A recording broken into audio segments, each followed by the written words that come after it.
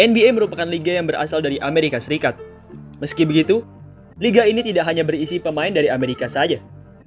Ada banyak sekali pemain dari luar Amerika yang sudah pernah bermain dan bahkan mendominasi liga ini. Pada hari ini, Ina Basketball akan membahas pemain NBA terhebat dari masing-masing negara di dunia.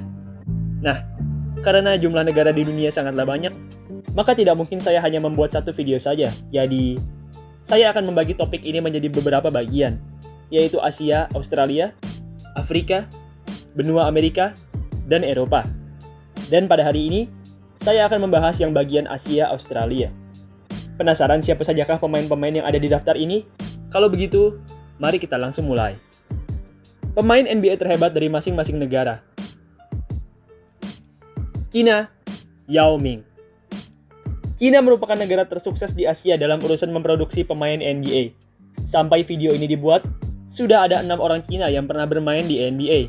Dan itu juga belum termasuk pemain-pemain Cina yang pernah bermain di preseason atau summer league. Dari seluruh pemain Cina tersebut, Yao Ming lah yang terhebat. Yao Ming merupakan seorang center setinggi 229 cm yang pernah bermain selama 9 tahun di NBA. Sepanjang karirnya, ia hanya pernah bermain untuk satu tim, yaitu Houston Rockets. Yao merupakan pemain yang hebat. Di saat masa bermainnya di NBA, ia merupakan salah satu pemain terbaik di NBA. Ya, salah satu pemain terbaik. Yao memiliki permainan inside yang sangat bagus. Tak hanya bagus dalam permainan inside, Yao juga punya tembakan bagus, yang mana jarang dimiliki oleh seorang center. Dengan segala senjata tersebut, tak heran, Yao Ming merupakan salah satu pemain terbaik di masanya. Jepang, Rui Hachimura. Mungkin beberapa kalian ada yang bertanya, apakah ia asli orang Jepang? Jawabannya, ya, ia orang Jepang asli. Ia memang nampak seperti orang Afrika, tapi ia lahir, tumbuh, dan hidup di Jepang. Ia juga sangat fasih berbahasa Jepang. Ya, itu karena ia hidup dalam keluarga Jepang semenjak lahir.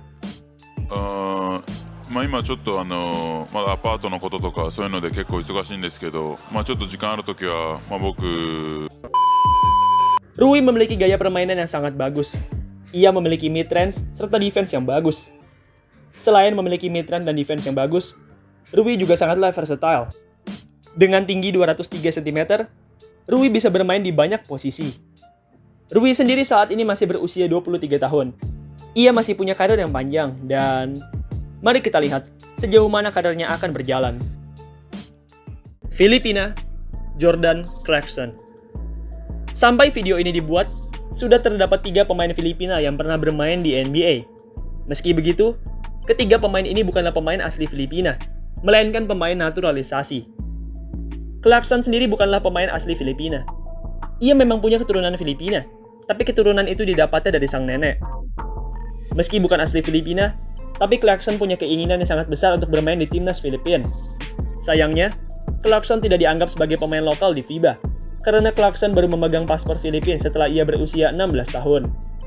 Clarkson sendiri baru pernah sekali membela Filipina, ia membela negara tercintanya ini di tahun 2018, tepatnya saat gelaran Asian Games. Baik, mari kita sekarang membicarakan karir NBA-nya. Clarkson merupakan pemain yang hebat di NBA. Sepanjang karirnya, ia selalu berhasil memberikan produksi poin yang bagus dari bangku cadangan.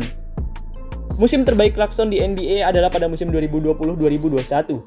Saat itu, Clarkson yang merupakan seorang six man berhasil mencatatkan rataan 18 poin dan 4 rebound. Berkat penampilan luar biasanya dari bangku cadangan ini, Clarkson pun saat itu dianugerahi gelar Six Man of the Year, yaitu gelar yang diberikan untuk pemain cadangan terbaik di NBA. Qatar, Jarvis Hayes Sama seperti Jordan Clarkson, Jarvis Hayes juga berstatus sebagai pemain naturalisasi. Bedanya, jika Clarkson masih punya darah keturunan dari negara yang dibelanya, Hayes sama sekali tidak punya darah keturunan. Hayes merupakan seorang pemain asal Amerika yang pernah bermain di NBA selama 7 tahun. Hayes punya karir yang cukup solid di NBA, mencatatkan rataan sekitar 8 poin dan 3 rebounds. Pada tahun 2010, Hayes yang sudah tidak mendapat tawaran lagi di NBA pun kemudian berkeliling dunia untuk menjadi pemain manca negara. Pada tahun 2013, Hayes pun kemudian menjalani naturalisasi untuk menjadi warga negara Qatar. Semenjak itu, ia pun terus membela tim nasional Qatar, sampai akhirnya ia pensiun dari basket di tahun 2015. Iran, Hamad Haddadi Hamid Hadadi merupakan pemain asal Iran yang pernah bermain di NBA dari tahun 2008 sampai 2013.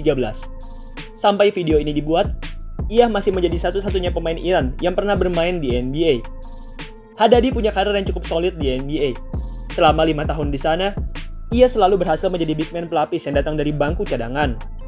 Di urusan timnas, Hadadi merupakan pemain yang amat setia dengan timnas. Hadadi sudah bermain bersama timnas Iran semenjak tahun 2004 dan sampai video ini dibuat, Hadadi masih aktif bermain untuk timnas Iran. Korea Selatan, Ha Seung Jin. Sama seperti Hadadi, Ha Seung Jin juga merupakan satu-satunya orang Korea Selatan yang pernah bermain di NBA. Ha memiliki ukuran tubuh yang luar biasa. Ia memiliki tinggi 221 cm dan berat 138 kg, menjadikannya sebagai salah satu pemain terbesar di NBA. Sayangnya, meski punya tubuh yang amat besar, tapi Ha tidak punya karir yang bagus di NBA. Sepanjang karirnya, ia hanya mampu mencatatkan rataan sebesar 1,5 poin dan 1,5 rebound. Meski begitu, tapi Ha tetaplah merupakan pemain yang luar biasa. Sudah bisa masuk ke NBA saja, itu sudah merupakan suatu hal yang luar biasa. Indonesia, Marquez Bolden. Marquez Bolden merupakan pemain naturalisasi Indonesia berusia 23 tahun yang saat ini bermain di NBA.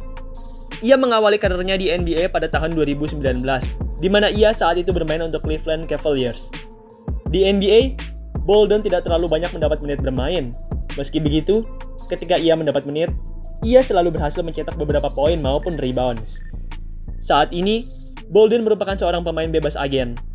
Ia kini tengah melakukan uji coba dengan Washington Wizards, dan jika penampilannya bagus, maka ia bisa saja mendapatkan kontrak dari Wizards maupun tim-tim lain di NBA.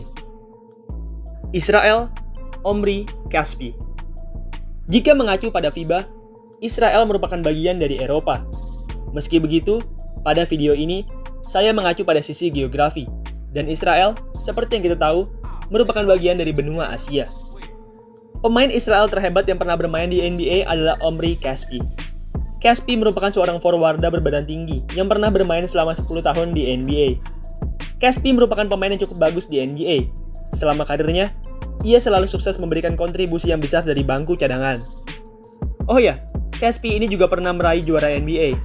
Pada tahun 2018, Caspi yang saat itu membela Golden State Warriors mendapatkan cincin juara.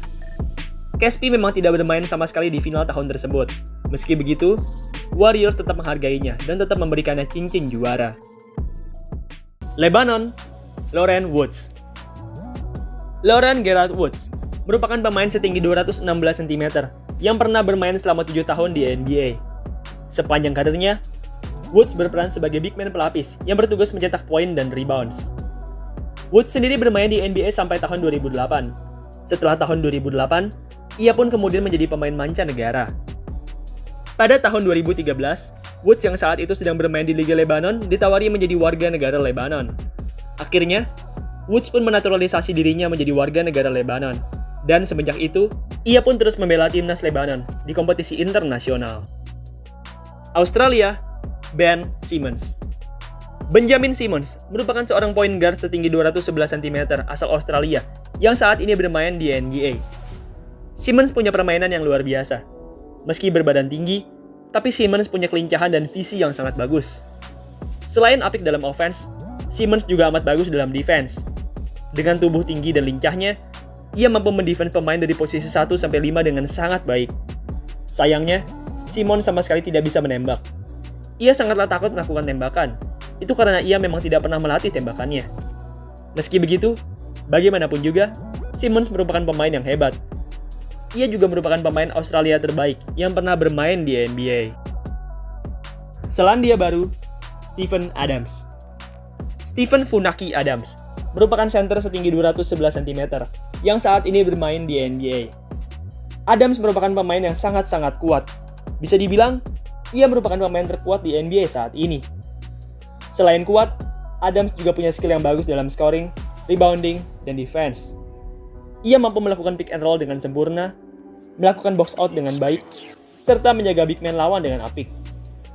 Stephen Adams sendiri sejauh ini sudah bermain pada 588 pertandingan di NBA dan selama itu, ia berhasil mencatatkan rata-rata 9,6 points, 7,6 rebound, dan 1,2 assist per game. Baiklah, itulah tadi pemain NBA terhebat dari masing-masing negara di Asia dan Australia. Di video selanjutnya, saya akan membahas pemain dari benua lain, yaitu Afrika, Amerika, dan Eropa. Tunggu video selanjutnya ya. Baiklah, sekian video pada hari ini. Terima kasih buat kalian yang sudah menonton. Dan sampai jumpa di video selanjutnya.